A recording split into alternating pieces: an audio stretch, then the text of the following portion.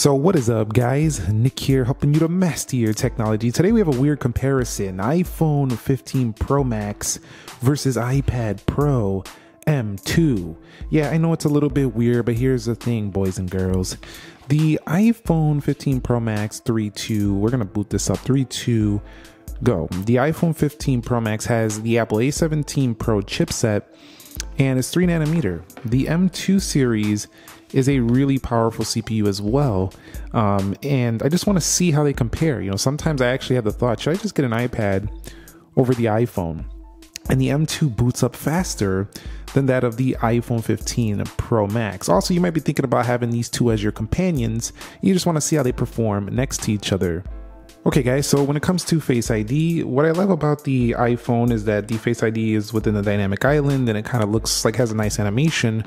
But I love that the iPad Pro also has Face ID, unlike some of the other iPads that use fingerprints. So I find it very convenient and very nice to use day to day. But we're just here talking about some of the basics here. You'll see iPhone 15 Pro Max with its 120 hertz promotion. It basically started on the iPad. So iPad gets the credit for having ProMotion first, and you kind of see it more just simply because you're looking at a bigger canvas, so you can kind of see that smooth feel of the uh, iPad Pro M2. You can also see it on the iPhone, but I just I just feel like my eyes are just visually more pleased looking at ProMotion on this larger display. It could just be me. Now, when we're talking about the software, we have iOS 17.1 on both of them. Well, they call it iPad OS, but it's essentially the same thing, just on a larger tablet. You'll see 8 gigabytes of RAM, and the CPU is clocked in at 3.77 gigahertz. Over here for the iPad Pro M2, lower clock speed, and it looks like a little bit less available memory. So we're gonna have to see if that makes any difference in the actual performance. Okay guys, so we've arrived at the application test. You can see everything closed out for both devices. Let's go ahead and begin with calendar. And you can see that might have was that the iPhone? They're they're gonna be very close. Um, let me go ahead in the month view. Swipe up out of there. We'll go into clock. It's about the same. And the thing is, is that because the M2 is so powerful, you know, even though the iPad has to load up more content on screen, it should be able to give you. Let's go to weather. It should be able to give you similar performance. You'll see much more displayed on the weather application over on the right. Go ahead and swipe up out of there. We'll go into App Store and you'll see that's faster on the iPhone for sure.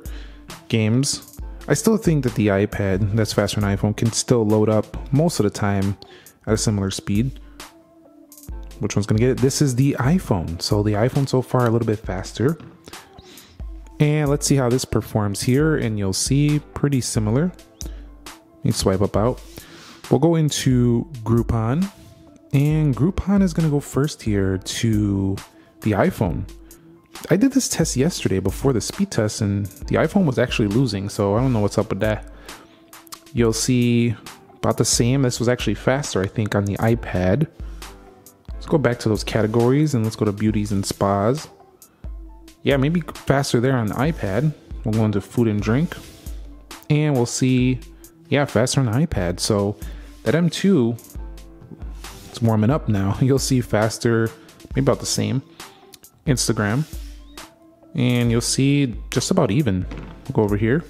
So these these products in conjunction, like if you want to build them out as your ecosystem, they would be a really nice combo. Let's go into Twitter or X.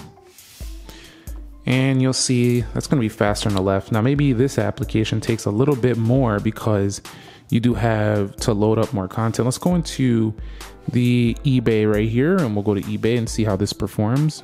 And you'll see that's going to be faster on the right. And let's go into Apple Store. Now my heater just kicked on, so we're getting a little bit of background noise. Just ignore it. You'll see there on the left. So maybe now loading up a little more content. I mean, I still would rather use the iPad's operation though, because like it's more to see. So operating the iPad, I get to see more especially if you're at home. So if you're somebody who works from home or something like that, or you're just at home a lot, the iPad is probably the better choice. Let's go into play, especially the iPad Pro 11 or the mini or even the base iPads. That was faster on iPad. Gaming is much larger. Smooth factor is about the same, but no, there's no dynamic island, no interruptions. Although the bezels are getting quite thick here in 2023, I would like to see a reduction there just to make it a little more slick looking on the next iPad. Let's go into which app are we in? Dead Trigger 2. Let's go into Subway Surfers now. Three, two, and go.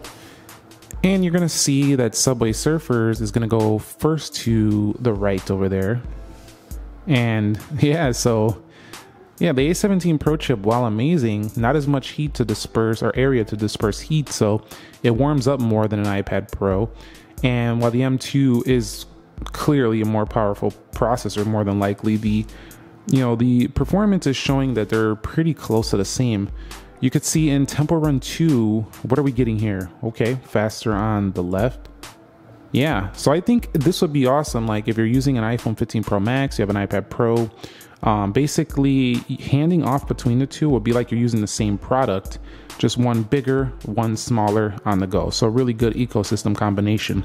Let's go into Real Racing 3 and see which one could pop this open first.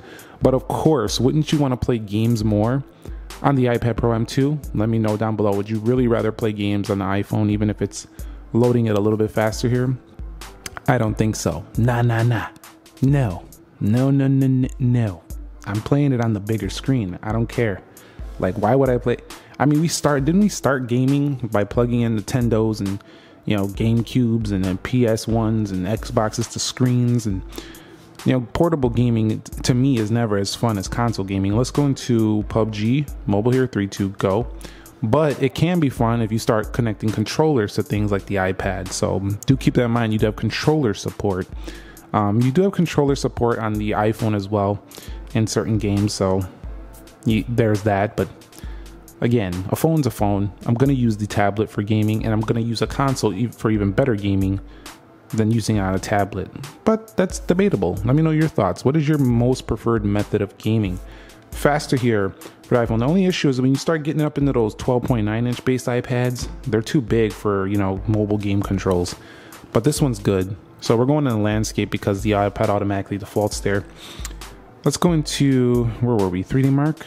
3D Mark here. And you'll see about the same iMovie, about the same again, camera, and pretty much the same Geekbench 6. Faster on the right. The Geekbench 6 still not loading properly fast on the iPhone yet. We'll go into speedtest.net and you'll see pretty close. So overall, I would say iPad won some, iPhone won some.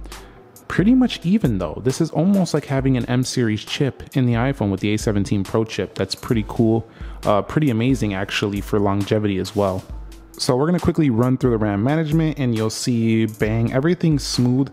The iPhone has zero load issues, even though it's not a 16 gig of RAM type of phone or even a 12 gig of RAM phone. This thing is the smoothest reload phone on the market, period. Like, there's phones that are maybe faster, can hold more potentially, but the iPhone just looks the best. There's just no, there's no other way around it. Call me what you will. Um, say say what you want. The truth is is i've tested so many numerous phones and what i get is the same thing every time. Apple you're just smoother and they know it and that's why ios is proprietary to apple devices. Let's go over here to subway surfers and okay i think i was either i was missing it or i was messing up i don't know let me know was i missing it which one were we on was i missing it or was i messing up or was it messing up? Was the game messing up? Let me know down below. We're going Instagram, Starbucks, and Groupon, and App Store, weather, clock, hmm, and calendar. No issues there either. Big old iPhone, bigger version of iPhone. It's a blown up iPhone on the iPad Pro, basically. All right, so the iPad Pro finishes first, and that's a good sign for its score. Look at that multi core score. Unbelievable on the iPad Pro. Over 10,000. This is on an iPad, have you? But look at that impressive single core on the iPhone says, Shut up, Nick. Today I am winning in what you basically test all the time. Single core, not really pushing it too hard, daily applications. It looks like the iPhone might be the faster phone in that respect. Um, 2593 on a single core. This is super impressive for an iPhone device. Six core over here, eight core over here, it says right there. Um, overall, basically, again, these scores are very similar. So, you know, you have a really top dog phone on the iPhone 15 Pro Max. We're going to go ahead and run the Wildlife Extreme and I'll be back when they're done. But I gotta just say, in terms of which one I think is the better experience, I think it's the iPad because the iPad has Apple Pencil. You can split the screen. It has the basically the Mac level processor inside of it, and it's the promotion, the per, the thing that started the promotion. So it's buttery smooth in the same way.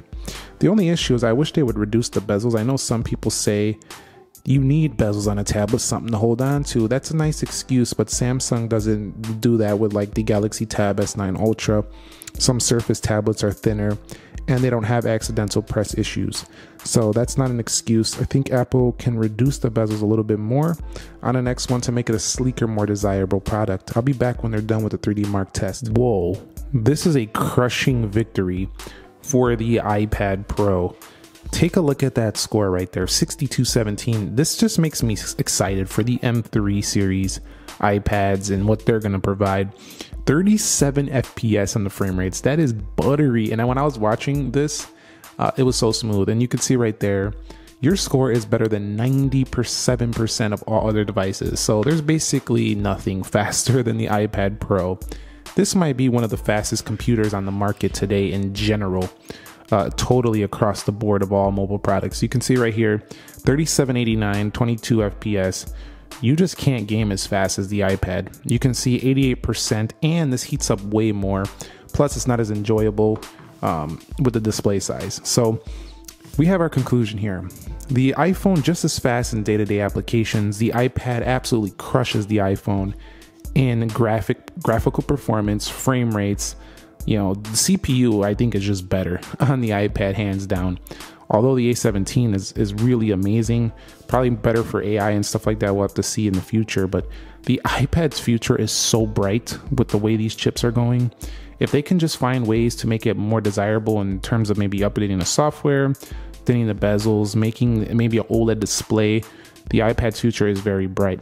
Let me know your thoughts on these two down below in the comments section. If you like our iPad versus iPhone videos, or you want to see um, some maybe Samsung tablet versus iPad, let me know your thoughts down below in the comment section. I'll catch you all in the next episode. Nick here. Be sure to be well and have a great Sunday. Peace.